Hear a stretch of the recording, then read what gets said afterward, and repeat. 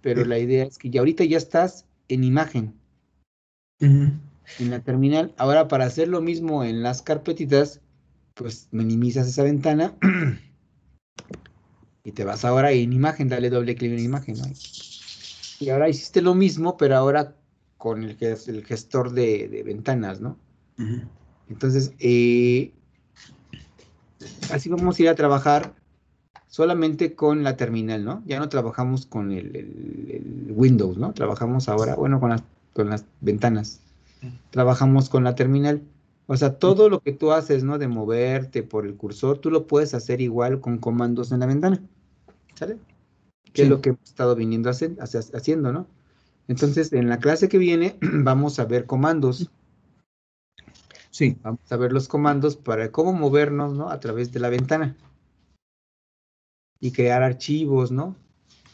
Ahí, entonces, eh, ponle en la ventana, en la ventana, ponte en la ventana, ahí, ándale. Y ahí le vas a dar nano, así, nano con N, nano. Dale enter. A ver si lo tienes instalado. Ahí está. Nano es un editor de texto, así como el WordPad de Windows. Ahí pone lo que quieras, si quieres pon tu nombre completo, ¿no? David Israel Ríos Vázquez. Y le das a Enter, ¿no? Ahí.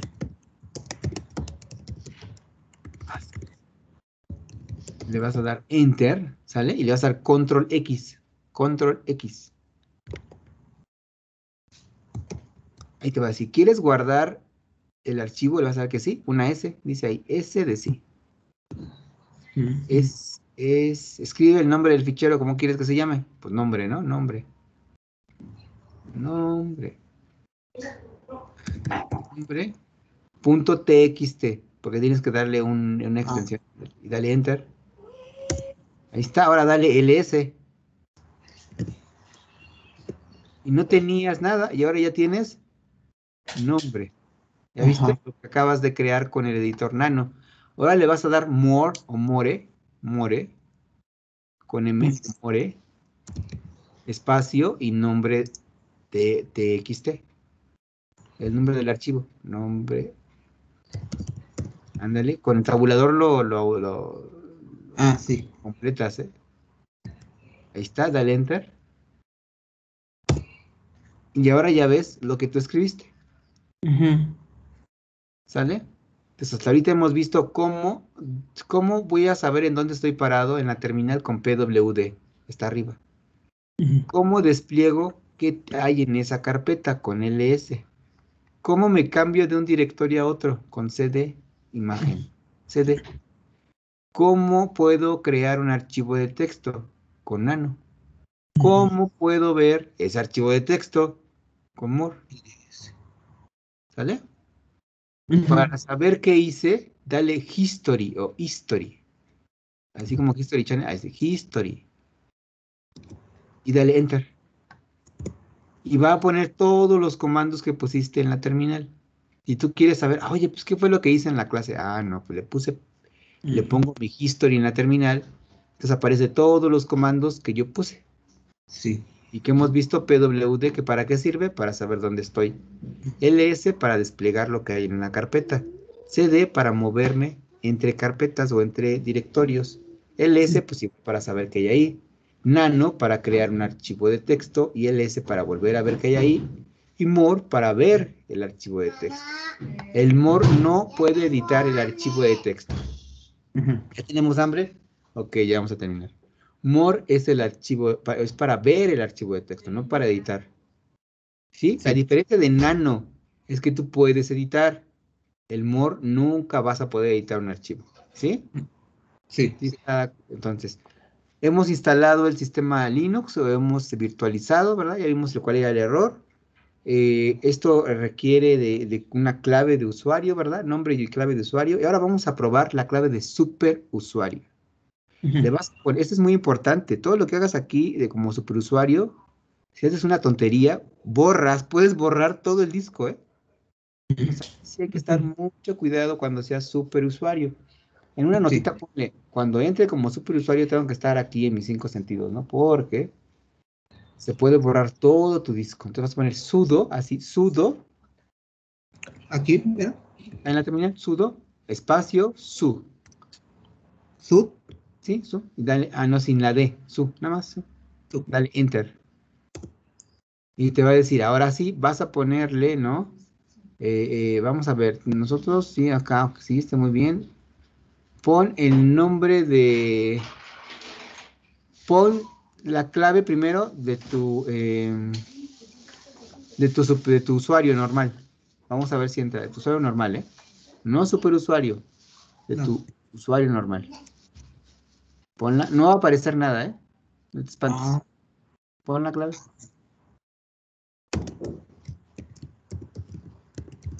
Ya. Enter. No te equivocaste en la clave. Ya,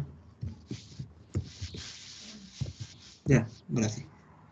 Dice, ya la pusiste bien, dice, aquí hay un problema, ¿no? Dice, este incidente, o sea, dice que tú no puedes ser superusuario. ¿Sale? No puedes ser un superusuario. Cuando ponemos sudo su es porque tú, en teoría, tendrías que ser superusuario. Ahora pon nada más su, su. Dale enter. Ahora sí pon la contraseña de superusuario. Esa es muy importante, nadie la debe saber. Ni tu novia la debe saber. Dale enter. Y ahora, si te fijas, ¿qué fue lo que ocurrió? Ya hay un gatito. Sí. Antes no había gatito, había un peso. Imágenes había peso, ahora ya imágenes y un gatito. Todo lo que hagas ahorita es vital. Si tú le das RM, es un comando para borrar cosas. Das RM, te va a borrar todo lo que hay en imágenes. Y te vas para ríos, te das RM, borra todo lo que hay en, ríos. Como tú ya eres superusuario, todo lo que hagas ahorita puede afectar al sistema. Por eso, los superusuarios solamente son los administradores del servidor, de la computadora, del, hardware, ¿sí me entender? Solamente el, administrador puede tener esa clave. Por eso es muy importante esa clave, porque con esa clave tú puedes hacer lo que quieras. Entonces, como es Debian, vas a darle apt, apt, apt, guion, medio o bajo. Ajá, está bien así, guion, medio, y vas a dar get, es decir, get.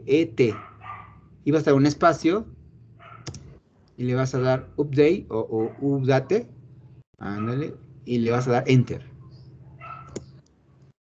¿Qué estamos haciendo? Ahorita estamos actualizando el sistema. Así es, estamos diciendo, a ver, si hay una actualización de todo lo que tengo instalado, hazla, instálala. Ahora tú le vas a dar lo mismo, el mismo, ahora con las flechitas, tu computadora sí tiene flechitas, ¿no? Sí. Está al lado del control, al lado del, bloque de números, ¿sí? Mm. Ya lo localizaste, ahora con la flecha de arriba, dale, ya ves, aparecen los comandos, sigue dando arriba. Otra vez. La flechita de arriba. Ajá. Apriétala. Sí, ya la apreté, pero no. Y no aparece nada, ¿por qué? Porque eres superusuario. Es el primer comando que has hecho como superusuario. ¿Sale? Le vas a borrar nada más, aunque diga date, date, borra eso. Nada más. Y le vas a, eh, que es grade. Ah, ya te barraste de más. Ponle upgrade. Upgrade. Ah. dale. Enter. Y ahora te va a decir, ahora primero actualizas. Update es para decirle, bueno, checa, tu, checa los servidores para ver si hay, un nuevo programa que yo instalé, una nueva versión. El upgrade es decir, ahora, ya que lo localizaste, instálalo en mi máquina. Dice, no hay, dice, calculando la actualización. Cero actualizados, cero se instalarán, cero para eliminar y cero actualizados. Quiere decir que no hay actualización ahorita, ¿sale? Para instalar un paquete no necesitas solamente internet, le vas a dar ahora sí con la flechita para arriba. Le vas a borrar upgrade. Nada más upgrade. Ahí le vas a dar igual install. Install. Y eso. Y le vas a dar un espacio. Y le vas a dar nedit. nedit. Eso, dale enter. Y te va a decir, ah, se actualizarán cinco paquetes. Vas a eh, tener que instalar. Desea continuar, dile S. O sea que sí. Dale Enter. Y te va a instalar un nuevo gestor de, de, de ficheros, o sea, de texto como el WordPad, pero ahora el WordPad va a ser para Linux. Va a darle control, control C. Control C. Ah, ¿qué fue lo que pasó? Control C. No, no, no, dale cancelar, perdón, perdón, dale cancelar. Le vas a dar exit, o sea, salida, ahí, para que te salga de superusuario. Ya. Dale, en- enter. Y ahora, ¿qué pasa? Mira, se te quitó el gatito, ¿ya viste? Ya no hay gatito. Ya no eres superusuario, ya la puedes regar. No pasa nada. ¿Por qué? Porque ya no eres superusuario. Sí. Ahora le vas a poner nedit. nedit. Y dale enter. Ya ves, ahora ya tienes un nuevo editor de texto que no es nano, es otro, pero ya es ventanita. Ya, aunque lo lanzaste en la terminal, abrió una aplicación gráfica que es nedit. Este es un WordPad. Tú puedes poner lo que quieras ahí, ¿eh? Ponle tu nombre, lo que quieras poner. ¿Vale? Ah, exacto. Y ya en File, ¿no? En, en File tú le vas a dar y le guárdalo, ¿no? ¿Y cómo lo guardas con Control C? Fíjate, está haciendo las, las, las, eh, las. Dale Control, Control S y va a guardar. Y ya le dices, ¿cómo quieres que se llame? Ahí dices. Y le pones el nombre que quieres, ¿no? Hola. Ya, ok, ya está. Ya está, hola. Ya si quieres cerrarlo, lo puedes cerrar. Y ahora le vas a dar ls. Ya creaste dos archivos uno por medio de nano y otro por medio de uno gráfico, nedit. En mi informática vamos a ocupar mucho ese nedit, porque cuando abras un archivo FASTA, un archivo de una secuencia, de un gen, a veces, si, eh, eh, en, eh, como en tu máquina sí lo puedes hacer, puedes desplegar cosas gráficas. En servidores, a veces tú no tienes permiso de desplegar cosas gráficas. Entonces todo lo tienes que hacer en terminal, ¿sí? Quieres abrir un archivo, lo tienes que hacer con More. Quieres editar un archivo, tiene que ser con Nano. Porque no puedes sacar cosas gráficas, ¿eh? Pero en tu computadora, pues como tú eres el rey, pues ahí tú sí puedes utilizar cosas gráficas. Por eso instalamos NEdit. ¿vale? ¿Alguna duda? No. No, sí. Entonces, ahorita hemos instalado el sistema, hemos visto comandos, hemos instalado un, un- ¿cómo se llama? Un gestor, ¿no? De archivos de texto. Y Yo pienso que hasta ahorita aquí le vamos a dejar. No sé si tengas alguna duda. No, sí, sí, le, le entendí. Ahora dale history, history, ventanita. history para saber qué hiciste. Ahí está. Todo lo que está, todos los comandos que tú pusiste en la terminal están ahí. ¿Vale? O sea, ya, ¿qué, qué hice yo? Ah, pues bueno, ahí está. Y ahora para entrar como superusuario, ya sabes entrar como superusuario, ¿no? ¿Cómo le haces? Le das SU, SU. Enter, y te pide la superclave, ¿no? Ya pones tu clave. Ahí está. Para instalar un paquete, con las flechitas, dale hacia arriba y te va a aparecer el último comando, en teoría. ¿Otro? Ese. Es app-get install y luego el programa que tú quieres instalar. ¿Quieres instalar el Firefox? ¿Quieres instalar el Chrome? ¿Quieres instalar alguna librería para un programa bioinformático que la necesite? ¿Cómo la vas a instalar? Pues siendo su superusuario, ¿verdad? Poner app-get install y entonces la, la- el programa que tú quieres instalar, ¿sale? Así es la forma de instalar programas, muy sencillo, no tuviste que ir al internet ni bajar el, como en Windows, ¿no? Que bajas programita, que le das ahora ya que se bajó, en- abres tu gestor de ventanitas, le das doble clic, le das ejecútate como administrador y toda esa cháchara, aquí simplemente lo haces con un solo comando.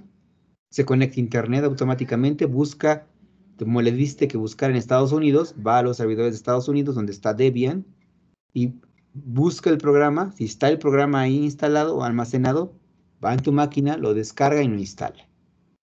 Muy sencillo, ya viste que es muy sencillo, pero Sí. cuidado porque que eh, cualquier error que tengas, igual eh, algún comando, alguna punto, coma que pongas como superusuario, es fatal.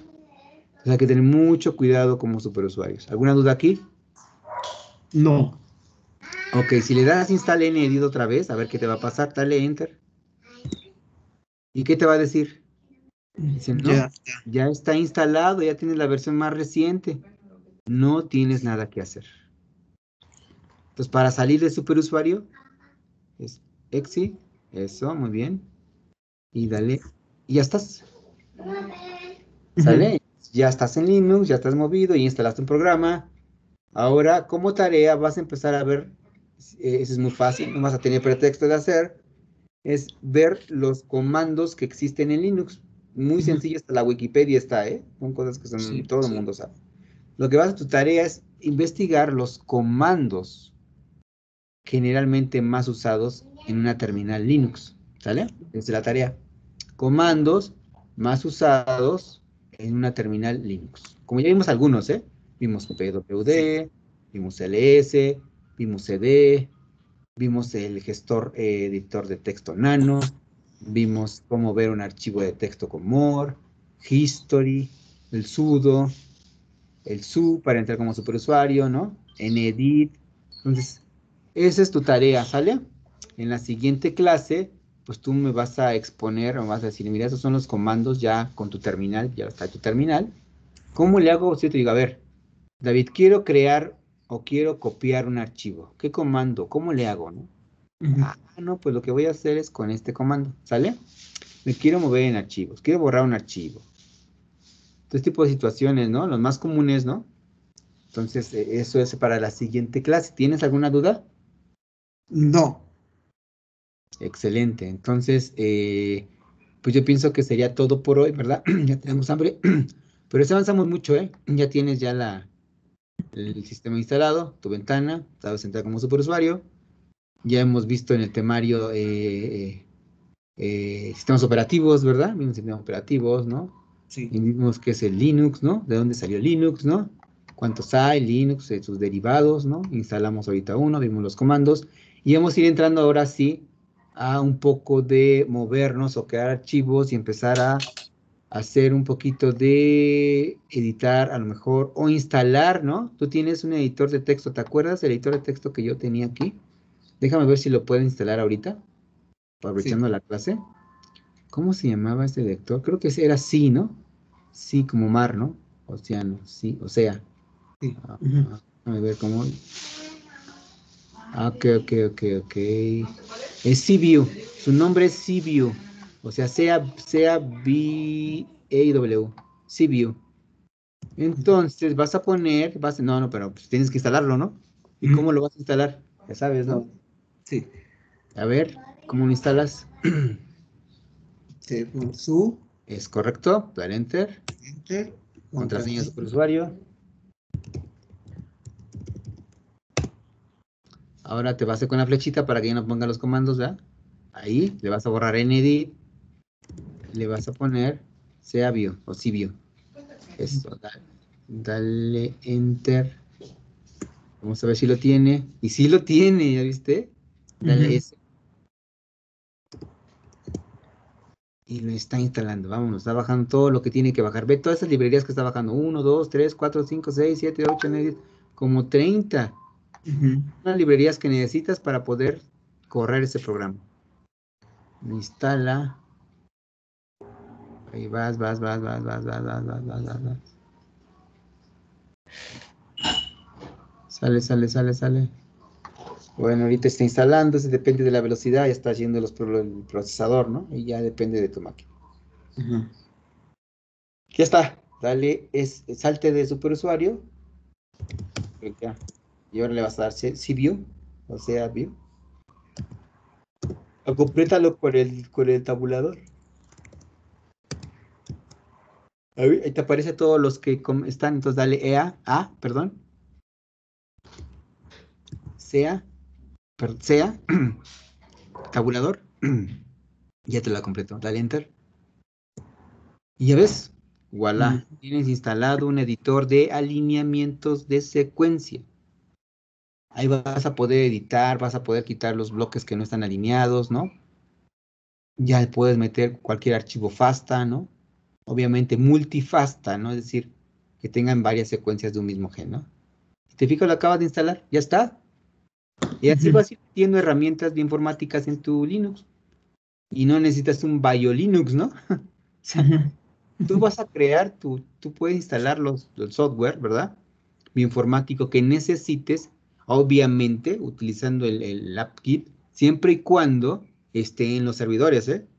Si no Sí. está en los servidores, pues no lo vas a poder instalar. Tienes que instalarlo de forma manual. Y ahí es donde la cosa ya no es tan bonita. Ahí ya se pone nebulosa porque ya se instala de forma, ya no es un doble clic como, Win- como Windows. Aquí hay que bajar el archivo, hay que abrirlo, hay que buscar el, el ejecutable. No, no es un show.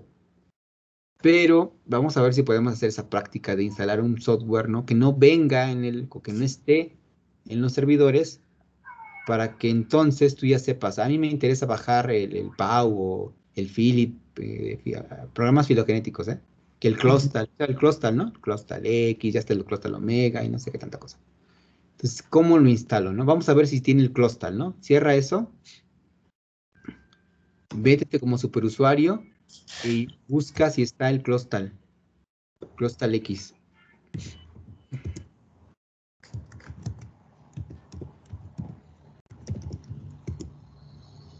Ya sabes, con las flechitas, ¿no?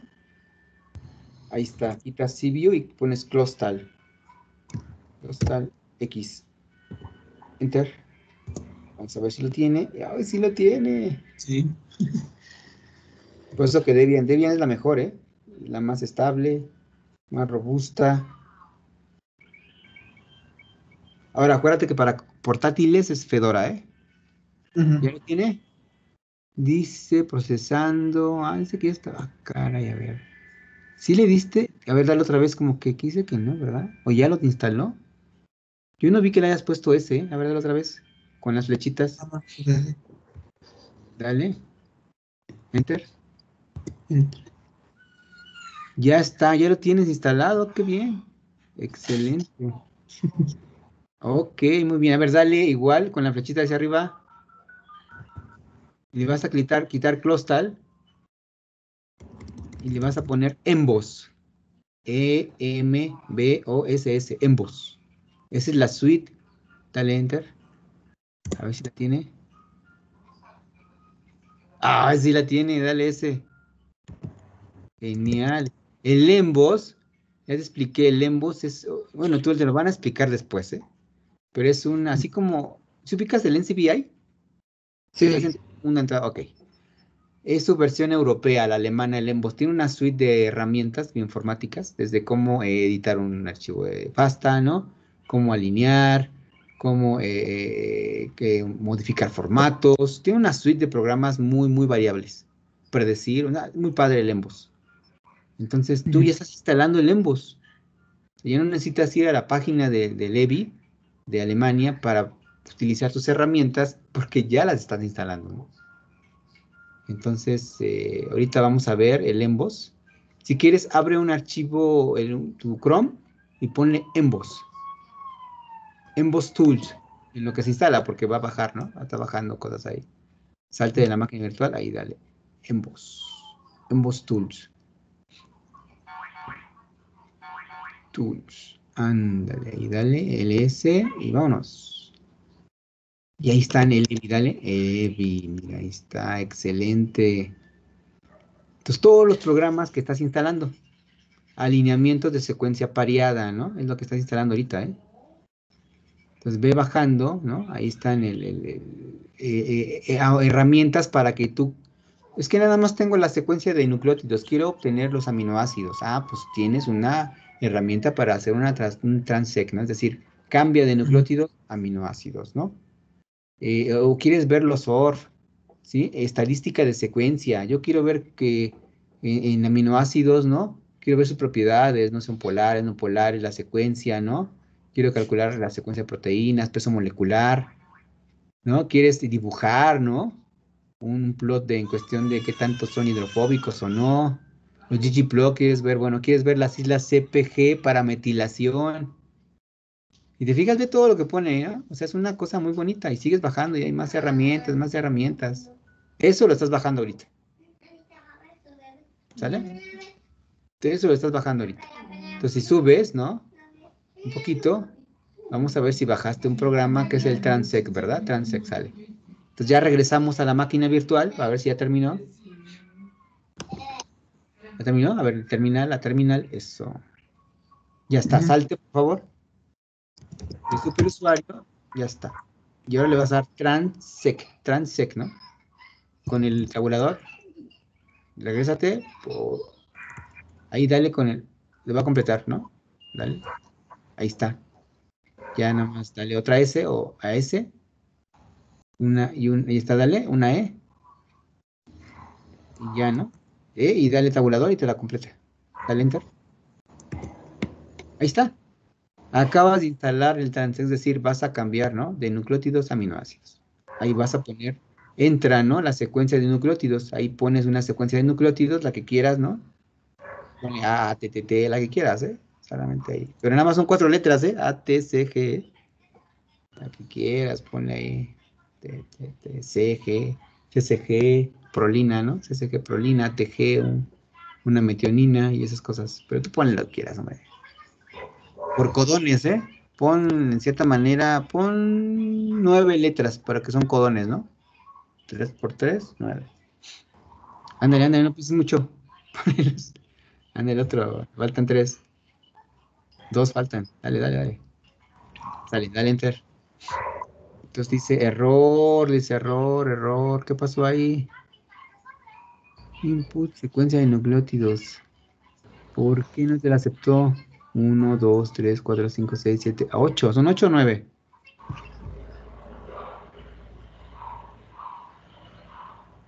Nueve. 9.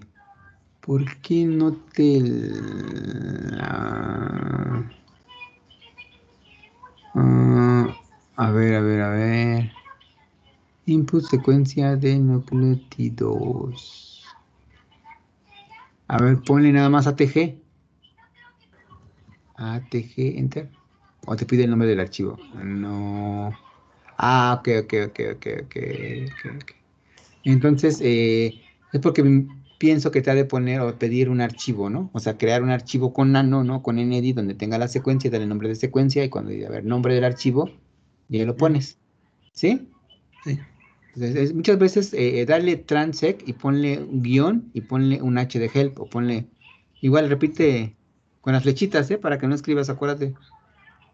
Ahí está, ponle un guion. Guión y dale H a ver si tiene ayuda, help. Dale enter.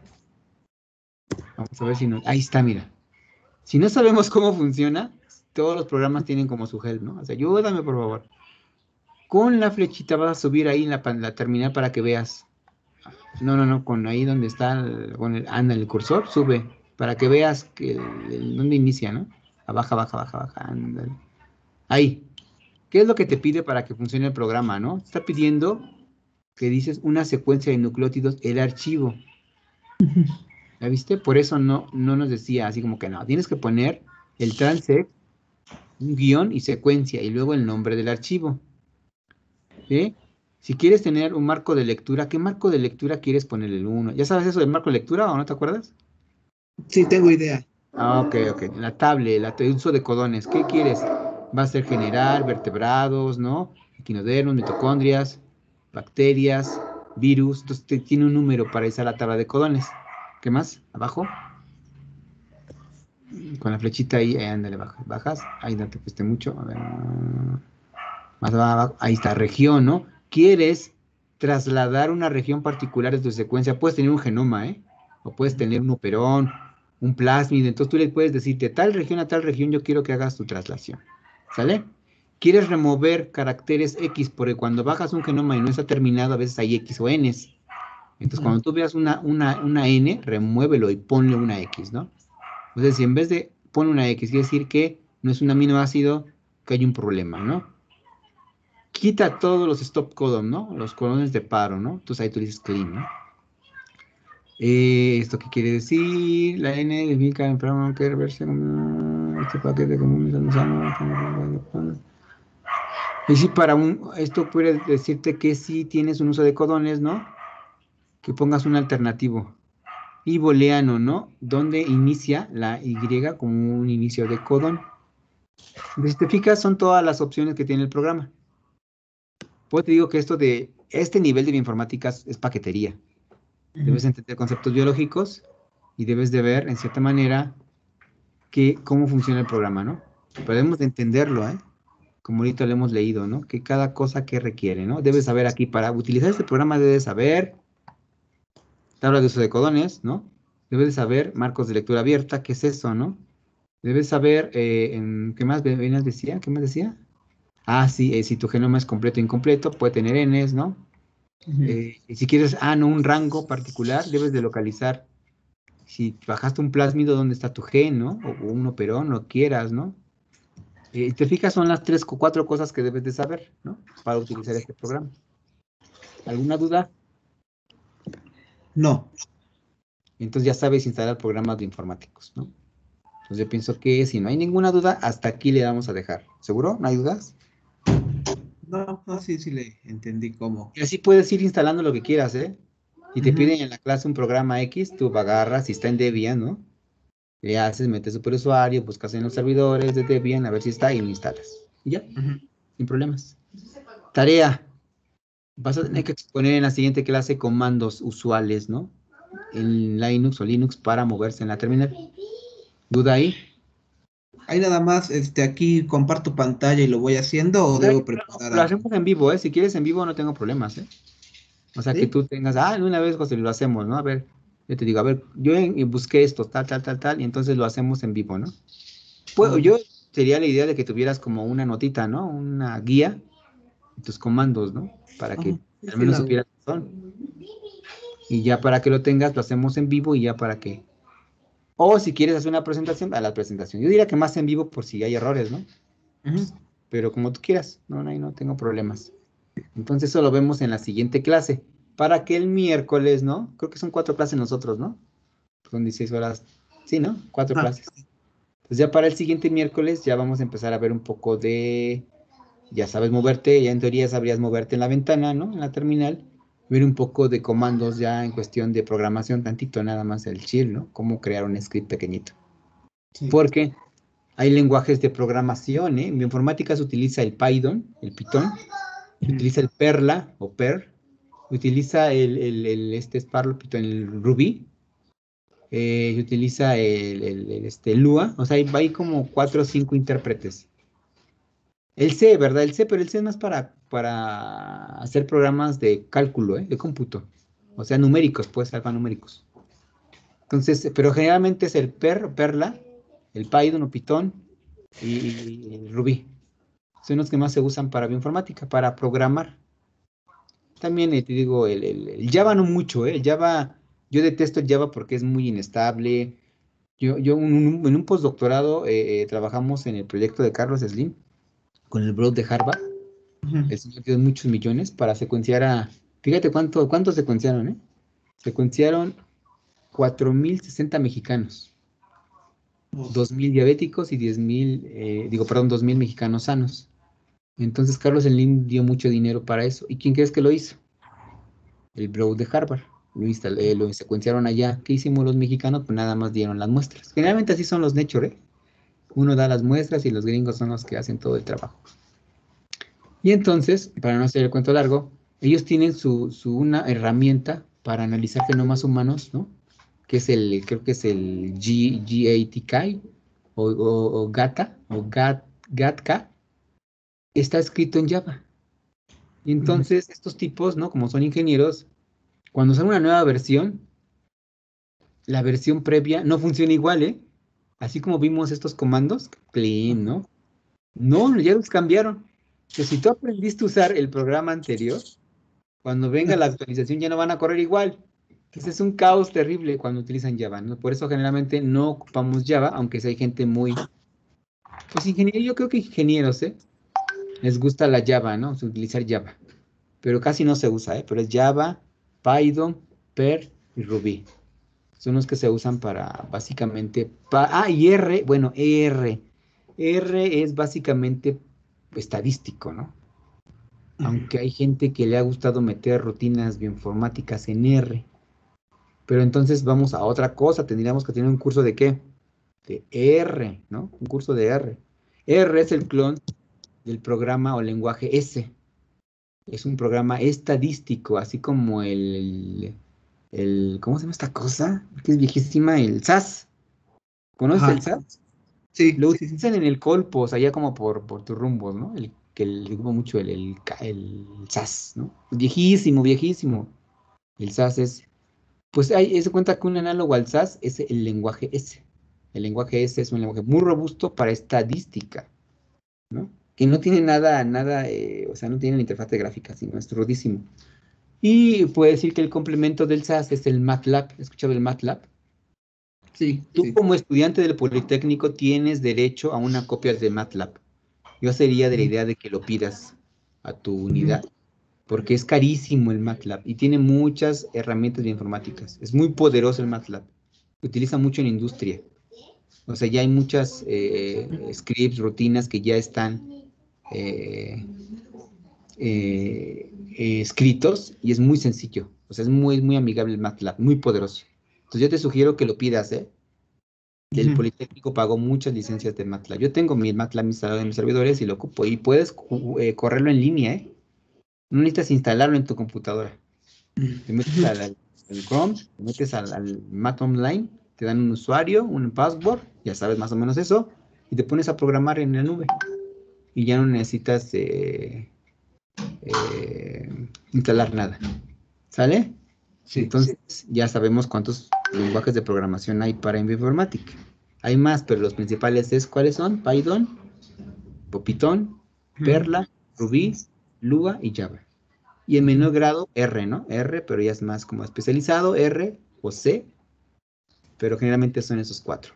Entonces, si no tenemos más duda, yo pienso que terminamos la clase de hoy. Nos vemos el lunes, ¿verdad? El lunes con tu presentación o con tu práctica de comandos de Linux. Sí. Está, la, está la, el programa grabado, entonces eh, no debería haber problemas ahí. ¿Sale? Sí, sí. Entonces, eh, si quieres, pues ya eh, te voy a parar de grabar. Ya está ahí